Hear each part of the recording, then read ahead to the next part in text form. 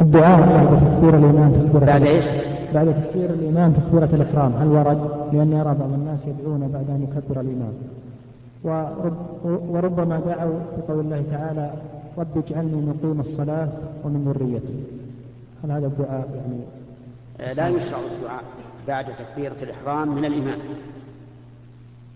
بل السنة إذا كبر الإمام أن تبادر فتكبر حتى تدرك فضل تكبيرة الإحرام.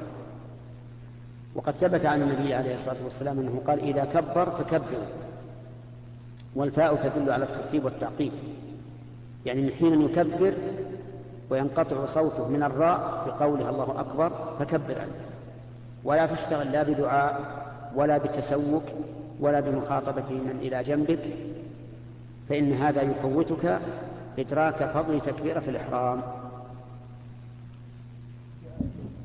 نعم. اجعلني مقيم الصلاة هذا من دعاء إبراهيم عليه الصلاة والسلام. رب اجعلني مقيم الصلاة ومن ذريتي. نعم.